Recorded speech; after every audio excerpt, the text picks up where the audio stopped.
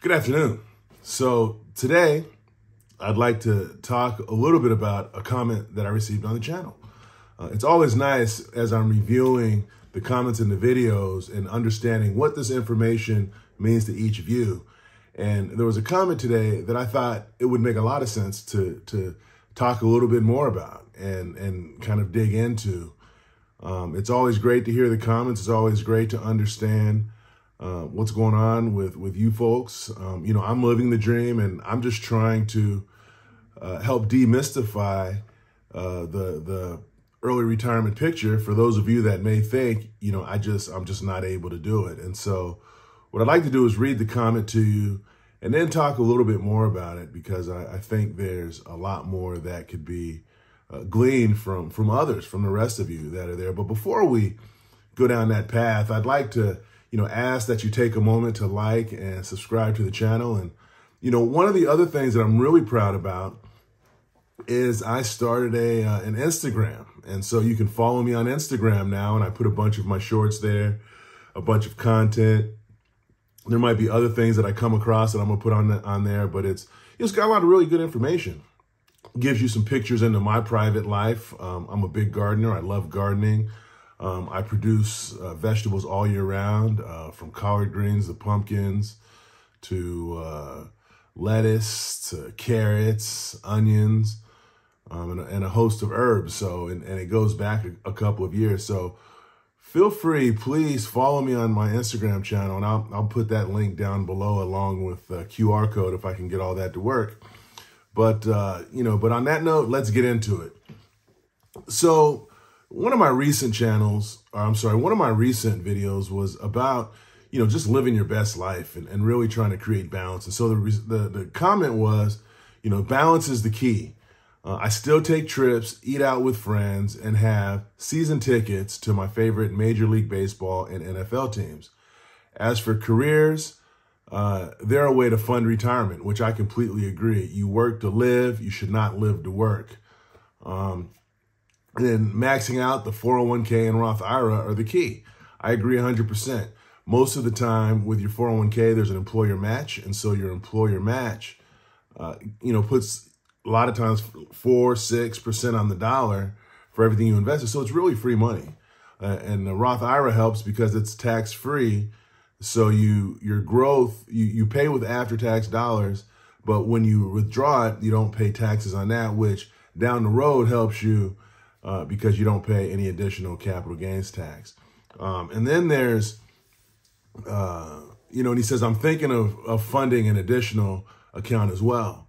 And so you know, one of the additional accounts, and, and I mentioned it in my response to him, are right now in the in the environment of high interest rates is looking at money market accounts. Uh, money market accounts are uh, are paying higher interest right now because the interest rates are high. And so one of the upshots of high interest rates are when you look at high yield savings accounts, you look at um, um, market money market accounts. I have a money market account that pays me every month, and it's it's a beautiful thing because my money market account in this environment really becomes an income income stream.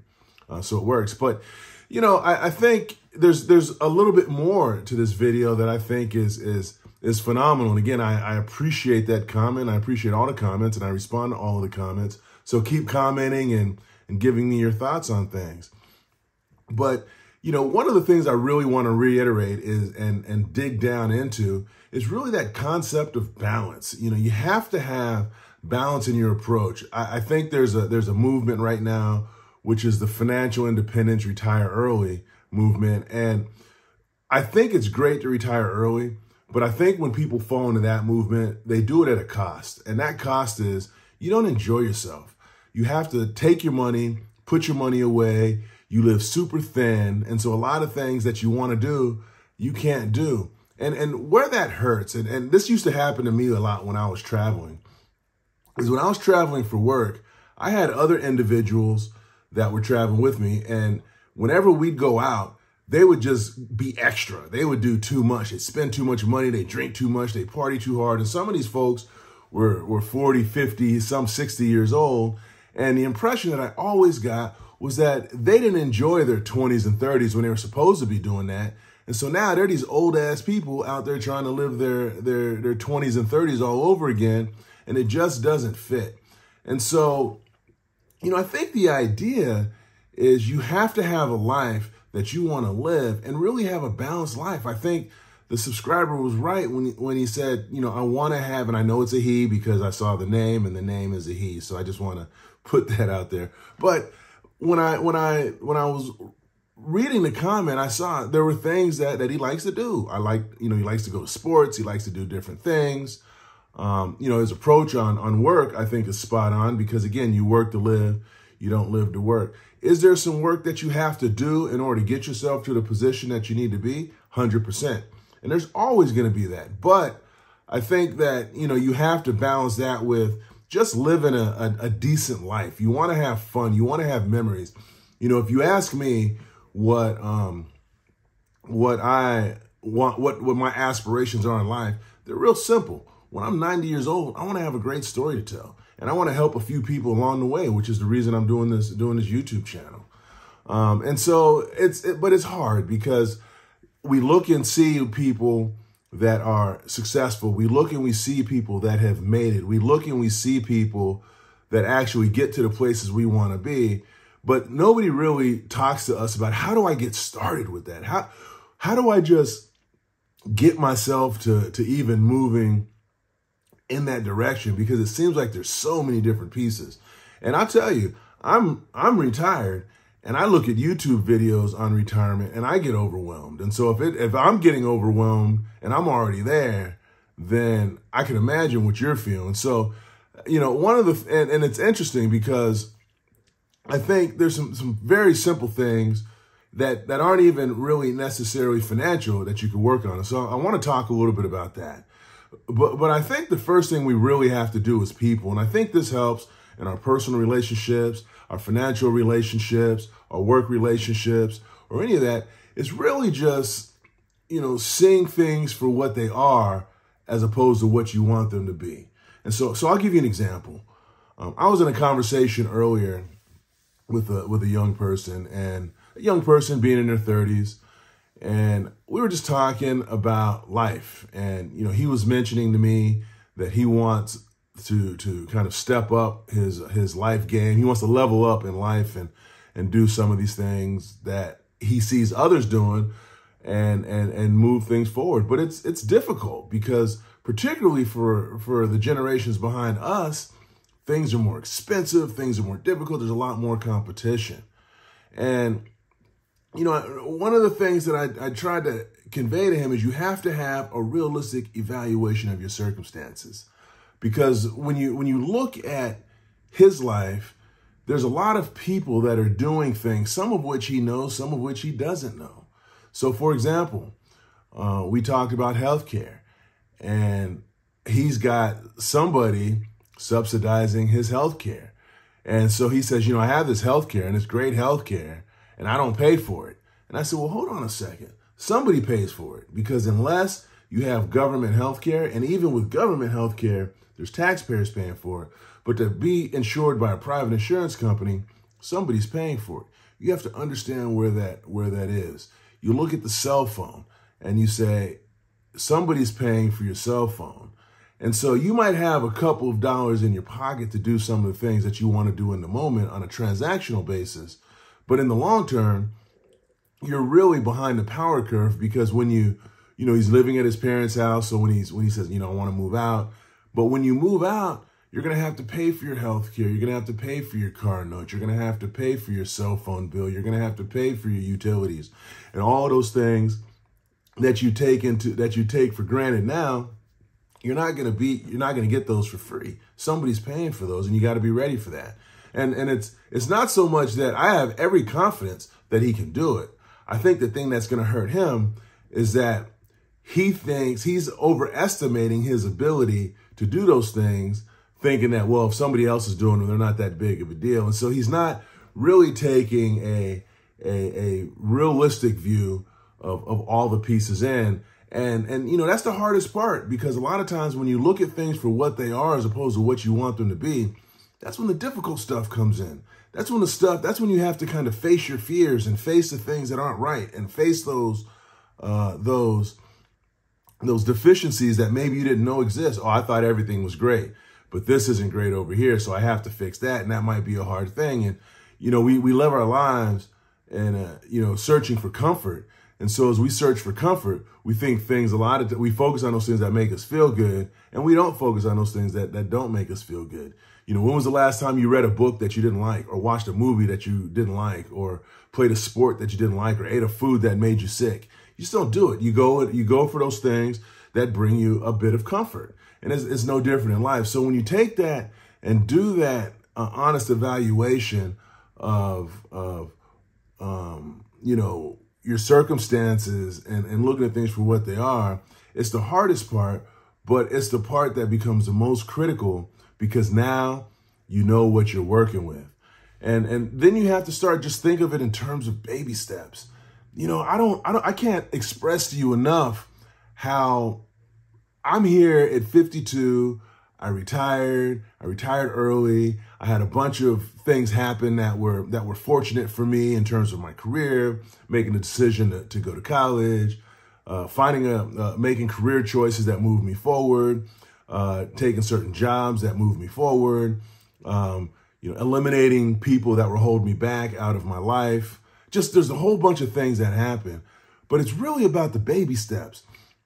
There's, uh, you know, when I was growing up, um, I grew up in a place, I, I, I, don't know if I've ever mentioned this to you, but, um, you know, I, I, have two fears in life. There, there were two fears that I, I, grew up with, and I don't know where the first one came from, but I had the fear of getting colon cancer and of being homeless. And those are the two things that I just did not want to do. So everything was around that. Um, and then it's, it's funny because with that in my background, I said, okay, now I know where I don't want to be. So everything I'm going to do is going to be based around that. And so even now, as an early retiree, sometimes my wife and I get into this conversation about, you know, finances because I still get nervous. And I said, you know, I don't want to end up homeless. And, uh, you know, she's she tells me all the time, you're not going to be homeless. You know, we, we've saved and we've we've got mechanisms in place and, and things like that. But it's it's just interesting.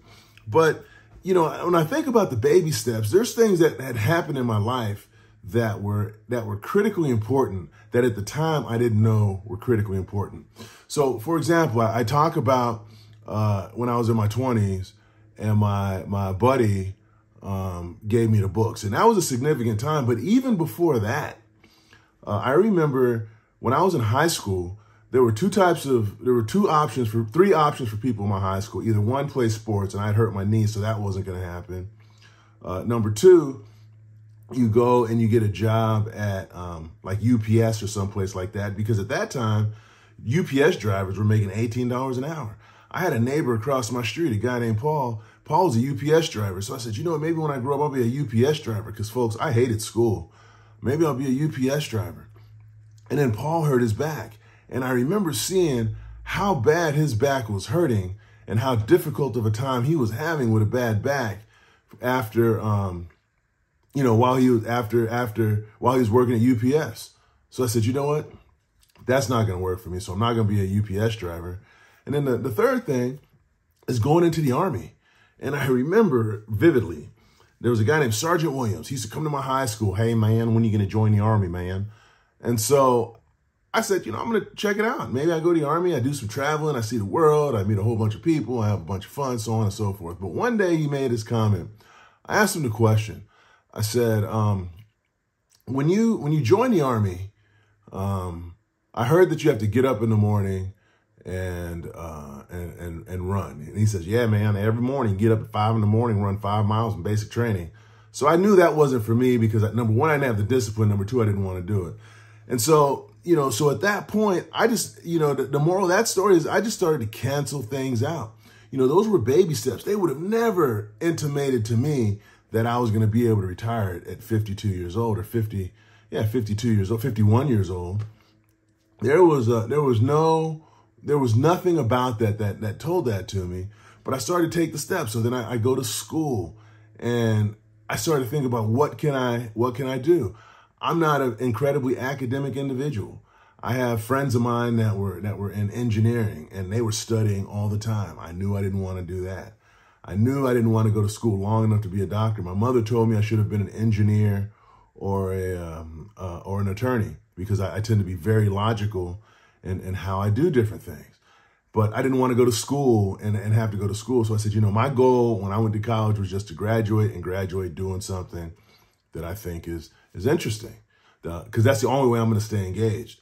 And so I um, got my I went and got my degree in sociology. And the way I got I graduated and got my degree in sociology, interestingly enough, is that whenever I went to class, I'd put together strategy. I say number one, all the free points. I do all the free points, so I do all the assignments. I do all the reading because that's usually going to be about 60% of your grade. I try to get at least a B on the quizzes. So that way I would be at least a C or a B in the class. And then that way I didn't have to spend all my time studying for finals. And the other thing I did, and I know this is going to create some boos and hisses, so I know this ahead of time, but I'd get to know the old people in the class because there were people in the class that were in their 30s when I was in college. You know, I'm 17, 18 years old, but they always seem to have the have the the, the magic potion for how to how to get it to, to make their way in these classes. So the next thing you know, I start becoming cool with them. And as I start to become cool with them, they started helping me learn that formula. So I, you know, so then I ended up I ended up graduating, getting out of school, got my degree in sociology. Then you start to say, well, what is it that you're going to do when you uh, with, with a degree in sociology? And and you know, so again, at each step of the of the way, the goal was not to um, try to take it all one fell swoop because number one, it doesn't help. Number two, you're going to get overwhelmed. And number three, going down that path, it's going to burn you out. If you try to be everything you see on Instagram or the gram, as they call it today, um, you know, you're going to end up burning yourself out. And so what I, what I started to do was just take, take little steps, take little steps forward. And, and, and most of those baby steps forward, they're not financial. I mean, yeah, I might have put some money in a 401k, 403b, put money together to try to buy a house so I could sell it and make more money. You know, all these little types of things, but it but most of the most of the of the things of the baby steps are not financial in nature. We think about retiring, we think about getting where we are, we think about, you know, you look at me and you say, "Oh, this guy must have been a whiz with money." It's just not true. It's it's a lot of the other baby steps that that I took. And those were some of it was you know, trying to set myself up for future job prospects. Uh, when I got out of college, I was a, uh, I worked in education. I was a counselor at, at an elementary school for kids with attention deficit disorder and things like that. So my thing was trying to help these kids mainstream so that way people didn't look at them the way people looked at me when I was a kid.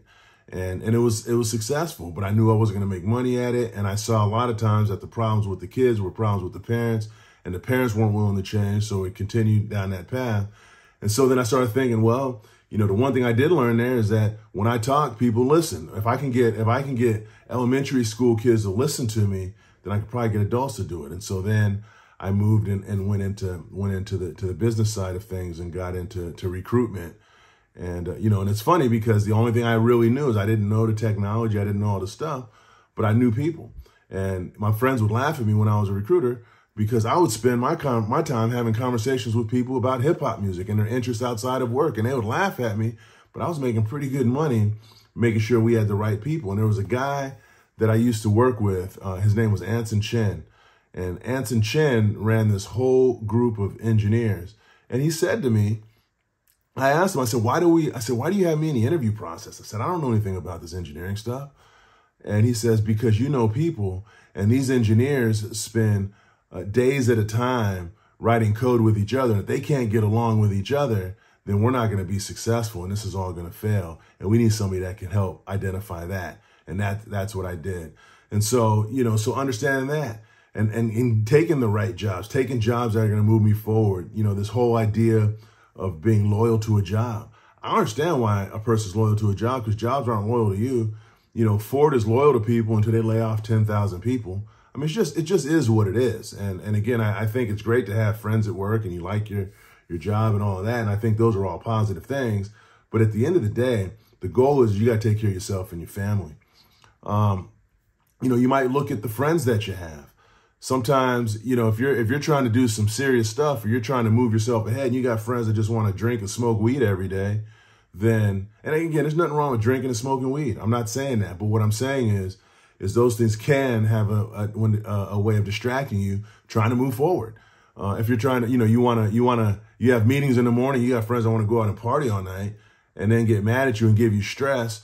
Well, you know, I get the idea that we should all be strong enough not to, uh, not to fight peer pressure or not to, not to succumb to peer pressure. But the reality is peer pressure is real. And I guarantee you, every single one of you out there is doing something because it looks good to somebody else. It doesn't make you a weak person. It makes you human.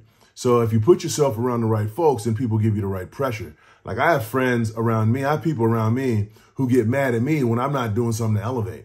I got friends around me. I remember one time I had a friend that got mad at me because I bought a car that I couldn't afford and they told me they were going to take it back. And I, and my thing was that I was going to be embarrassed because what are the people at work going to think? And that person who's a good friend of mine told me they were incredibly disappointed, not because I almost lost my car, but because they looked up to me because I didn't care. I didn't, I wasn't as focused on what other people thought.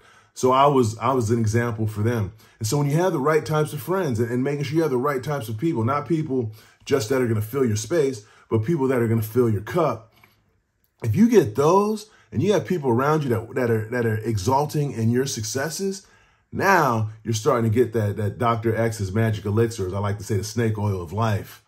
Um, and then, and then also, you know, another baby step is look at where you waste time.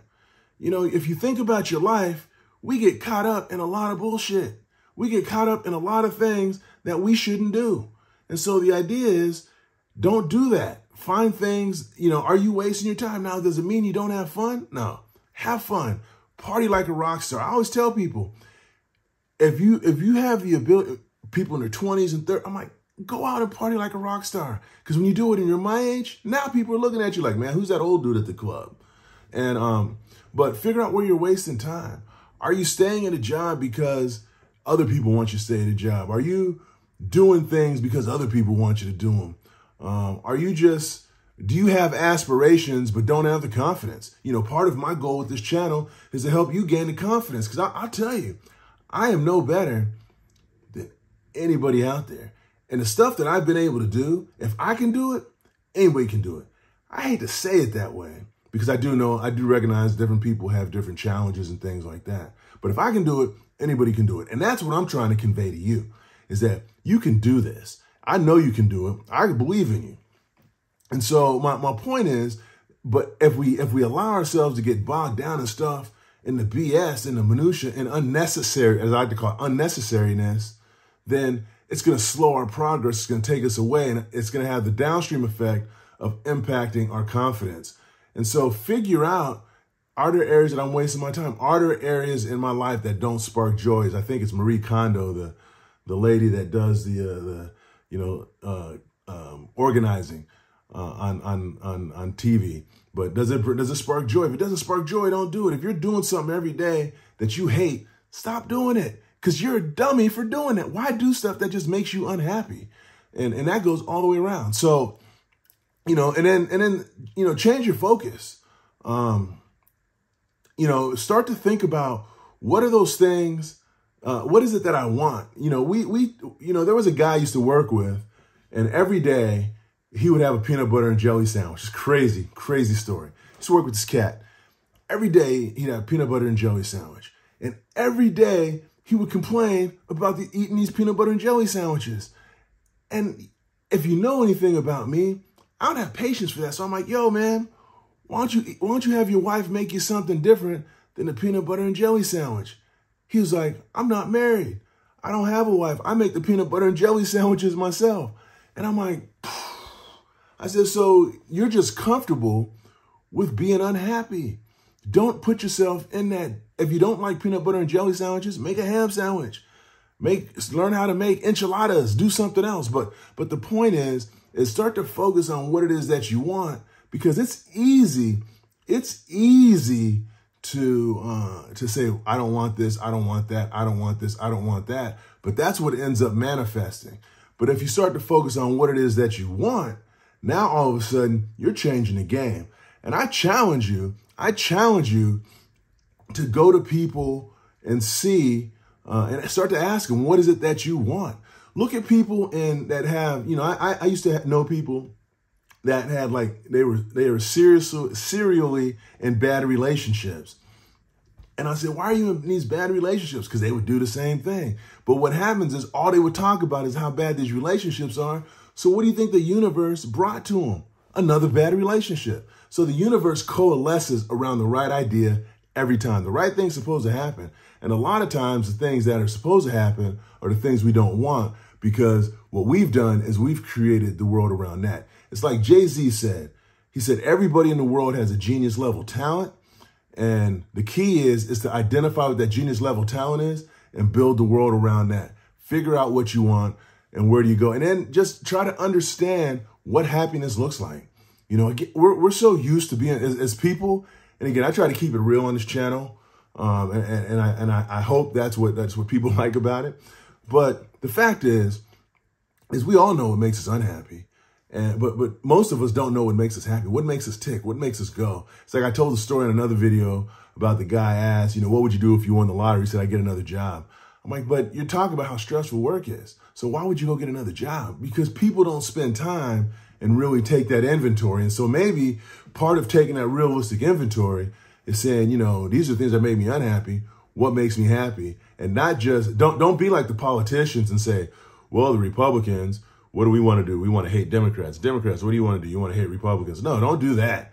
You go and you figure out what is it that makes you happy, what makes you tick, what makes you go, uh, what makes the world go round for you. And if you do that and you start building your world around that, then what you start to do is, again, as I say, the universe coalesces around the right idea and you start to build that momentum. And I'm going to tell you, I graduated high school, and I shouldn't tell you this, but the only way I graduated high school was by cheating on an Algebra 2 test on the second to last day of school. Otherwise, I wouldn't have graduated from high school. So I went from being that kid to being a kid that that goes through his that graduates from college coming from a high school that had a 55% dropout rate to getting into an occupation becoming an executive level uh, person in my profession to to retiring at uh, at 51. And so and and that's because as I as I as I started to change my mindset, that momentum, the universe coalesced around that and started to move it forward, just like it'll move forward for you. So the last thing I'm gonna leave you with is a, is a saying from um, you know uh, one of my favorite rappers, a guy named E40 out of the Bay Area, and he says, you know, you should always jump over pennies for dollars, never jump over dollars for pennies. And so on that note, I'm to let you go. Have a good rest of your day. Again, if you like this channel, please um, like or subscribe to the channel and uh, come follow me on the Instagram. Then you could send me, you could slide in my DMs and we could we could chat one-on-one -on, -one on the Instagram platform. So on that note, have a good rest of your day. Thank you for your time.